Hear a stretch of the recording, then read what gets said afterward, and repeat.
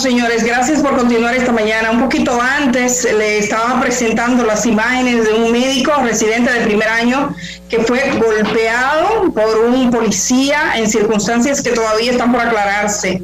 A mí me gustaría una aclaración en ese sentido. He invitado a la doctora Yocasta Lara. La doctora es eh, la presidenta de la filial del Colegio Médico Dominicano en el Distrito Nacional. Buenos días, doctora. Buenos días, Edith. Gracias por la invitación y de verdad agradecerte eh, a, través de ti a todos los periodistas el interés que han demostrado en esta pandemia con el personal sanitario. Doctora, cuéntenos eh, qué fue lo que pasó eh, con este médico. Cuénteme todos los detalles, cómo fue. Bueno, pues la información que tengo en el día de ayer, yo me reuní con el médico agredido y con la jefa del servicio del día de antes de ayer. Ya ellos me llamaron a eso de las 12 de la noche el domingo para contarme lo que había sucedido y ayer ya a las 7 de la mañana me apersoné al hospital para que para hacer el video y realizar la denuncia y que ellos me dijeran a viva voz eh, cómo había sucedido el hecho. Ellos me, me contaron, el doctor me contó que ni llega el policía el cual refería que se había caído de una motocicleta. Entonces tenía laceraciones, dígase guayones, ¿verdad? Inmediatamente llega la señora, inmediatamente llega el policía, también llega la señora con una herida de arma de fuego, la cual eh, supuestamente accidentalmente se disparó el arma y se le pegó un tiro a la señora, o sea, el arma del policía. Eh, la señora. Eso supone, eso supone, perdone, si hay un arma que interviene en un conflicto, hay un, procedimiento. Claro que sí, hay un procedimiento porque el hospital cuenta con dos servicios, que es un servicio de seguridad eh, interna del hospital y también cuenta con el servicio de los policías que tienen que estar en los hospitales por si llegan casos eh, de trifulca. En este caso, la señora llegó, inmediatamente llega el policía, eh, con la historia, pero la señora era relacionada con, con el uniformado. O sea, se conocían. ¿Qué sucedió? ¿Qué sucedió? El doctor procede a evaluar la situación del policía, ve que no es de consideración y, y deja a una doctora con el policía para que proceda a, curar las heridas, o sea, a limpiarle la laceración llegaron varios policías, llegó una coronela de la MED y él procede eh, a atender a la señora. Gracias a Dios que no fue una herida de, de importancia, gracias a Dios, pero había que hacer el procedimiento del lugar. El policía pedía su de alta petición de que para irse a un hospital militar. A lo que el médico le responde que ya escapaba de sus manos y que eso llevaba a un proceso, porque había una persona herida con un arma de fuego que era propiedad de él y que él no podía darle la de alta petición hasta que los policías del centro investigaran. Como estaban paralelo, tanto el policía como la señora, el doctor, el residente de primer año, se voltea y continúa prestándole el servicio médico a la señora pues el policía se paró y abofeteó al doctor, le dio una trompa entre el oído y parte del mentón de la cara.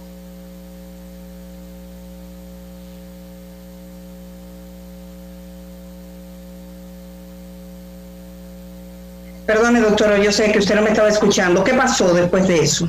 Bueno, luego eh, el doctor eh, no respondió a la agresión habían varios policías más, él temía a responder quizá por los policías y como es un residente de primer año y muchas veces le arman un expediente para luego sacarlo, él prefirió no responder en el momento.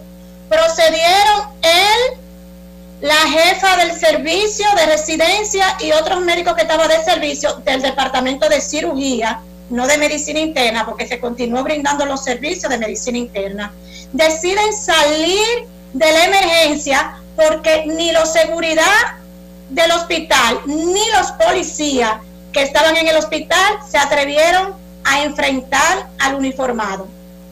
No se atrevieron a enfrentar al uniformado, ellos se retiran y dicen, hasta que no nos den seguridad de nuestras vidas de nuestra integridad física, no vamos a bajar a la emergencia.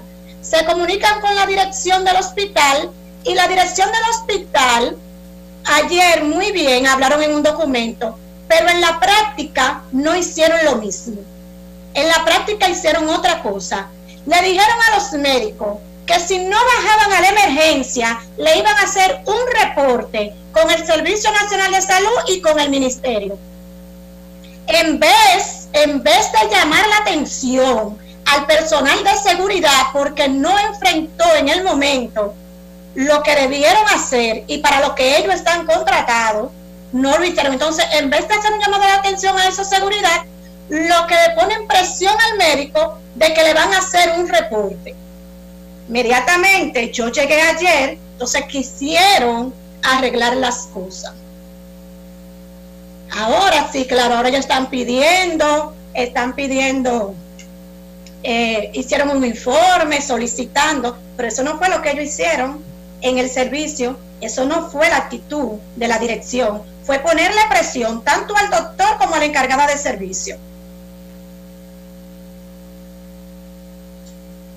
Yo quiero tener eh, algunos otros detalles, nombre del policía, nombre de la coronela. También queremos hablar un poco de la situación de los hospitales. Vamos a hacer una cosa, hacemos una pausa brevísimamente, señor director, y continuamos conversando con la doctora Yocasta Lara, que es la presidenta de la Unidad del Colegio Médico Dominicano, Distrito Nacional.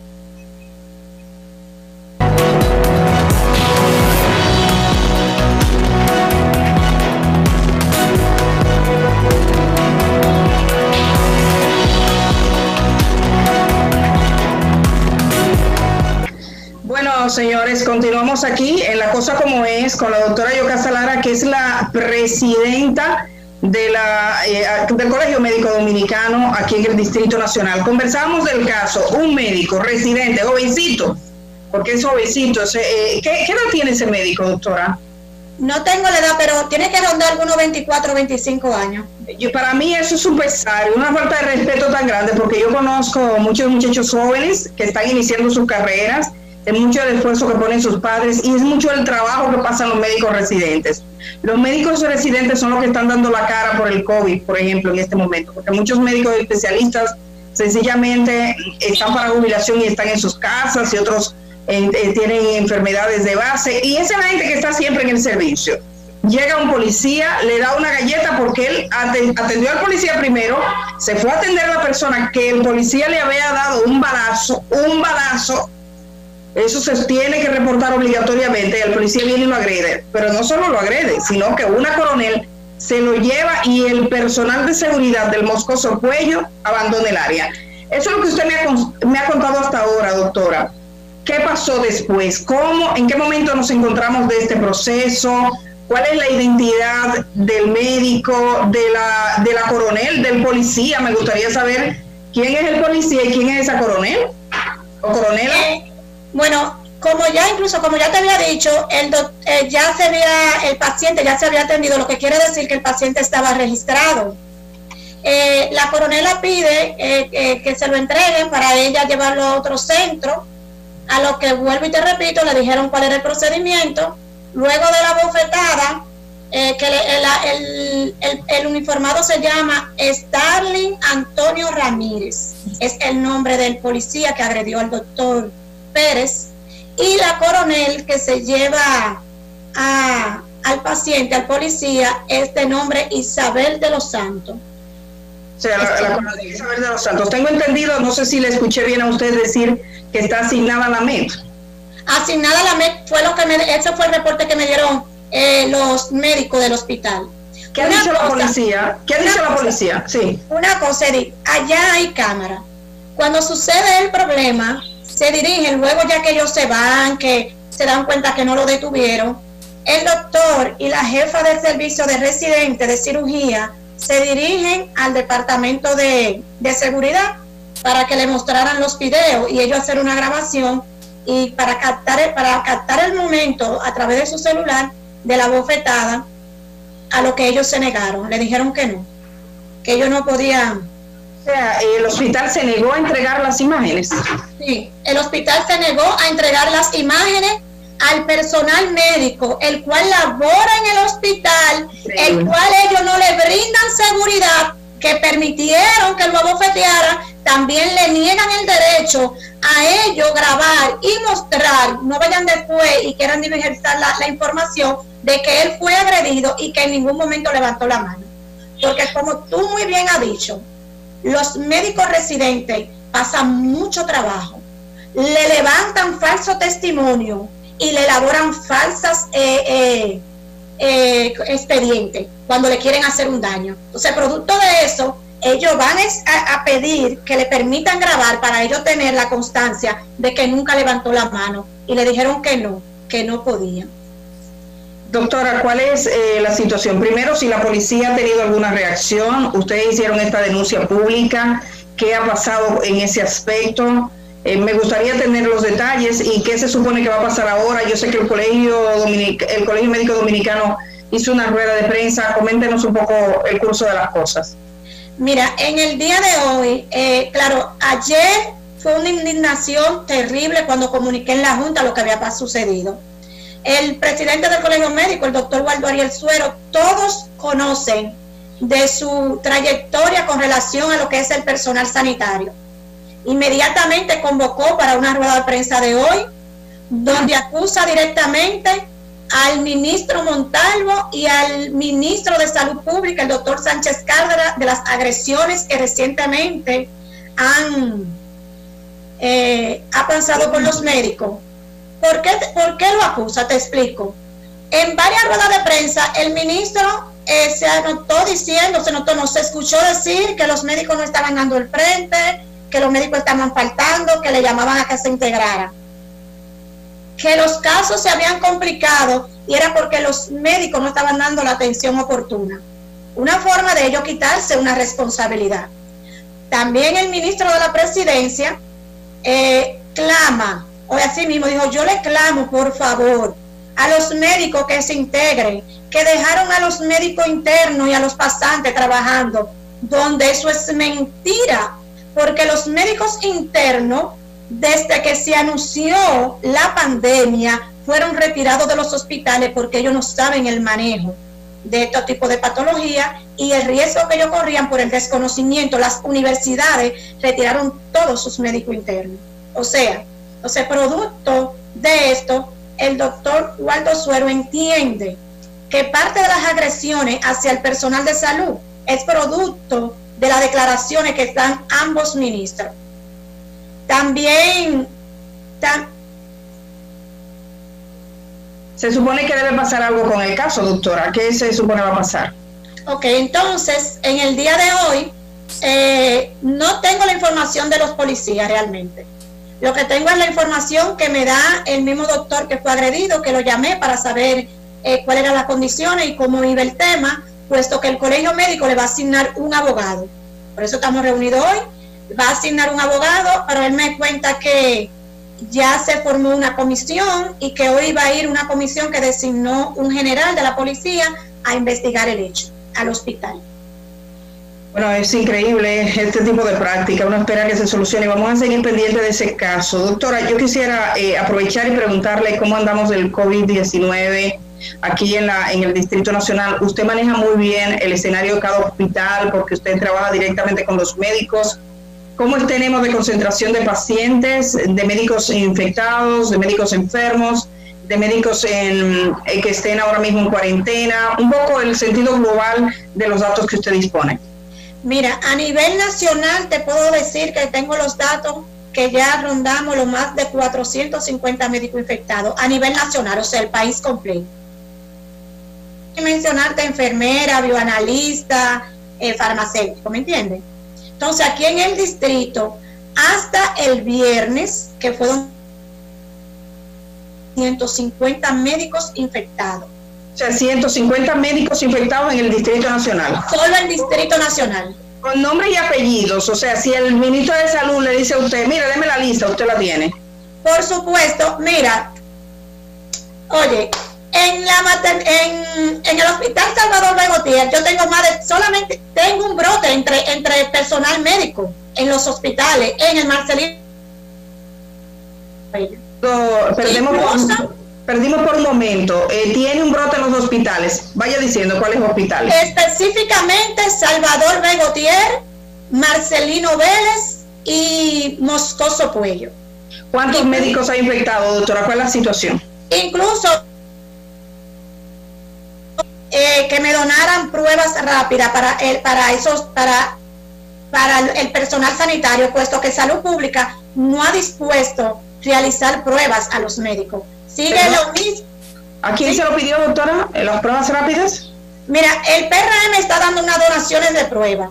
Yo hice una solicitud dirigida al doctor Mario Lama, que vi que está manejando los casos, eh, vía, o sea, vía, vía PRM, los cuales me dijeron que me iban a dar respuesta en el día de hoy. La solicité para tres hospitales específicos, que es el Salvador Begotier, el Marcelino Vélez y el Moscoso Cuello, por lo que te acabo de decir. me gustaría que, especificáramos, o sea, ¿cuántos casos ya eh, positivos tenemos por hospital? En el Hospital Salvador Begotier tengo más de 30 médicos positivos. Wow. Los cuales, mientras esperaban pruebas, no estaban en la casa. Fueron pruebas que se realizaron en el hospital, o sea, tuvieron contactos con compañeros. Duraron 10 días para entregarle las pruebas. Y te voy a decir algo. Hay laboratorios aquí que en 24 horas te entregan el resultado. Cuando más tardan son 72 horas. Si usted tiene un personal sanitario, el cual usted está investigando, debe de haber un protocolo para que los resultados lleguen antes. Pues mira el problema, todos esos médicos, entre el médico residente y médico adscrito, lo que son, o sea, lo que son jefes de departamento, ahora están positivos que tuvieron contactos con otros personal del hospital. Entonces, eh, eso es el caso del Salvador Luego Vamos, el Marcelino que usted mencionó. En el Marcelino B le tengo más de 20 médicos, médicos, no tengo el cálculo de las enfermeras ni demás personal, ¿me entiende? Eh, doctora, ¿qué sabe usted? Eh, había escuchado de una clínica que fue supuestamente cerrada, no he visto confirmación oficial, Centro Médico Integral. Sí vi que un canal de televisión fue hasta la clínica, veo que, que estaba desolada y se afirma que es que habían ahí muchos del personal médico que estaba infectado. ¿Usted, eh, que trabaja con los médicos del distrito y de acá, sabe, tiene alguna información? Oficialmente no tengo la información, pero lo que sí, hablando con una doctora que conocía del caso, me decía que no fue que la cerraron, sino que procedieron a hacer una fumigación porque habían resultado positivo un, unos cuantos personal, tanto administrativo como médico, pero no que la clínica per se estaba cerrada. Eso no, no fue confirmado. Ok, sino que eh, sí se probó que había una parte del personal y por eso supongo que un, un proceso de desinfección. de limpieza, desinfección. Doctora, eh, hablemos eh, de la situación de los hospitales, de las estadísticas más notables. ¿Cuáles son los, los, centros hospitalarios que más personas tienen ingresadas en este momento y cuántas serían? Actualmente lo que más tienen ingresado es el Marcelino Vélez, el Rodolfo de la Cruz Lora y en Gombe. ¿Cuántas personas estamos hablando? En el Marcelino Vélez, al día de ayer yo tenía más de 70 personas ingresadas. En, sí, en el Rodolfo de la Cruz Lora, en el en Gombe tenía más de 22. Tenía en el Rodolfo de la Cruz Lora más de 20 pacientes. Doctora, me gustaría, me gustaría saber eh, con respecto a las embarazadas. ¿Cuál es la situación de las embarazadas? Porque había visto denuncia en ese sentido. Eh, ¿Cómo ha estado ese proceso? Los bebés recién nacidos, ¿lo hemos tenido, hemos tenido éxito en esa práctica? ¿Cómo vamos? Mira, hasta ahora la maternidad pública que están brindando el servicio es la maternidad de la Altagracia y la maternidad de la mujer, ahí en la Bolívar. Eh, la maternidad San Lorenzo de los Minas solamente está teniendo emergencia, o, sea, si la paciente llega en franca labor de parto, se le asiste y se le refiere luego a la maternidad de, de la Altagracia o de la mujer si necesitan referimiento. Si llegan que se puede trasladar, pues se traslada a cualquiera de los dos hospitales antes mencionados, porque San Lorenzo de los Minas eh, está ahora mismo solamente para pacientes COVID. Doctora, me gustaría eh, saber finalmente el tema, si ya se ha superado, yo lo entrevisté una vez, me habló mucho de las medidas de seguridad, de, bioseguridad, eh, de todo, todo lo, que tiene que tener un médico disponible para protegerse. Si estamos viendo este nivel de contagio, probablemente se deba a esas ineficacias, pero en este momento, eh, ¿qué, ¿cómo están de materiales de protección? Mira, el primero de mayo se cumplió dos meses de que se anunciara el primer caso COVID. Desde ese primer momento comenzaron las quejas, cuando comenzaron a delimitar cuáles eran los hospitales, no había equipo de protección personal, o lo que le llamamos indumentarias de bioseguridad. A dos meses y día, la situación sigue siendo la misma. No, hay mascarilla. Sí, lo mismo. No hay mascarilla, no hay... No hay mascarilla suficiente, no hay overoles suficientes, eh, se tienen que rehusar Fíjate, el sábado a través de las redes me doy cuenta que en el hospital Ciudad Juan Bosch, es el que está próximo a las Américas, hay dos pacientes varados en, la ambulancia, los cuales fueron referidos del Salvador Begotier hacia Ciudad Juan Bosch. ¿Por qué está varado? Cuando me pongo a investigar, los médicos no tenían ni guantes, los de servicio, ni los de no ni con guantes. yo no me lo yo lo que yo digo, lo digo con pruebas. No había ni guante. Procedí a lo correcto porque el colegio médico desde un principio dijo que no querían que los médicos abandonaran el servicio ni siquiera habiendo escasez. Procedí a lo que es correcto, llamar al licenciado Chanel y comunicarle lo que estaba pasando. Él dijo que iba a resolver, pero como el colegio médico estamos eh, supliendo, estamos recibiendo donaciones y estamos llevando a los hospitales. Yo tuve que venir de mi casa al colegio médico donde está el centro de acopio de acá de, de, las indumentarias de bioseguridad a buscar para enviar al hospital y hablar con la doctora y elaborar ahí un plan para que los pacientes, cómo lo manejan ya que los doctores que trasladaron sí estaban vestidos correctamente, decirle a ellos que bajaran esos pacientes, que lo pusieran en, en, un triaje, en lo que se dice como un consultorio, eh, en lo que llegaba eh, el equipo de, de, bioseguridad para ellos, que ya iba de camino, que se lo mandé con el presidente provincial, el doctor Joel Campuzano, y así pudieron trabajar. Tengo las fotos, te las puedo enviar. Incluso... Vamos a acreditar, sí, con imágenes y videos, eh, doctora, todo. Eh, lo voy a enviar ahora mismo. Sí, usted me, lo, usted me lo manda y yo lo comparto mañana, porque es bueno hablar siempre con esas pruebas. Si algo me, me, me gusta en el caso suyo, es que usted acredita con videos. Ojalá y tuvieran el video, por ejemplo, de la agresión de la que fue ese médico. Hay gente que quisiera que las cosas no se digan, o sea, que, que sencillamente callándose y tapando o no diciéndola. Todo aquí es para resolver, porque debe resolverse además estamos en una temporada donde lo que está en juego es la vida de la gente, en este caso la vida de los médicos. Sus parientes, hay, hay médicos que tienen parientes ancianos que van a sus casas, no debe morir nadie en una enfermedad que se puede evitar. Yo le agradezco mucho, doctora. Otro día estaremos conversando. La doctora Yoka Salara es la presidenta de la filial del Colegio Médico en el Distrito Nacional. Estuvo planteando todo lo que ocurrió con la agresión de un médico Esperamos que a la coronela se le investigue. La coronela, ¿cuál es el nombre? Isabel de los Santos. Isabel de los Santos y al policía también que dio una galleta, sí, porque sí, a un médico. A mí eso siempre me cae demasiado pesado cuando agreden a un médico, porque todos en un momento de vulnerabilidad, quien nos ayuda es un médico. Entonces no puede ser. Muchísimas gracias, doctora, y muchísimas gracias a ustedes a todos los que están en sintonía a esta hora en sus casas. Mañana, a las 11 de la mañana, estaré aquí diciendo la cosa como es. Y esta noche a las 7 en mi canal de YouTube yo lo espero a todos, porque vamos a calcular cuánto nos toca de pensión. O sea, cuánto, eh, le preguntan cuánto usted gana, tiene que tenerlo claro, su edad y años de trabajo.